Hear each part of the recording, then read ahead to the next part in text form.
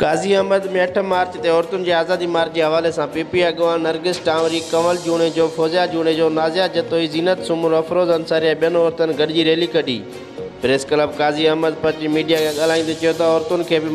आज़ादी औरतुनि खे कॾहिं कारोकारी या लक़ब ॾेई मारियो थो वञे त वरी कंहिं भोतार खे मिटे निज़ाम तहत रुलायो थो वञे त वरी संग चटी थो ॾिनो थो वञे।